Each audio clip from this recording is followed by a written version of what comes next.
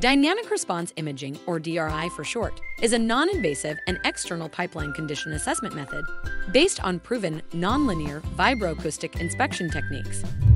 DRI detects and locates leaks and localized changes in pipe wall stiffness.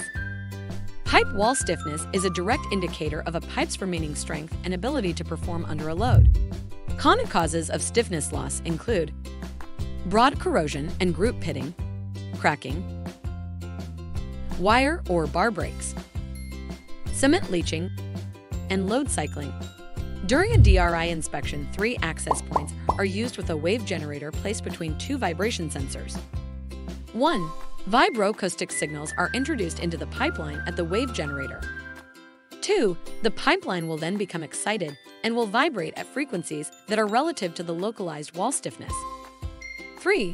These frequencies are then recorded and pinpointed using a correlation function. Post-inspection analysis locates leaks and maps the wall stiffness along the pipeline with a typical resolution of 5 feet to 20 feet or 2 to 7 meters. Wall stiffness is then interpreted to remaining wall thickness, residual composite strength, brittleness, and ovality.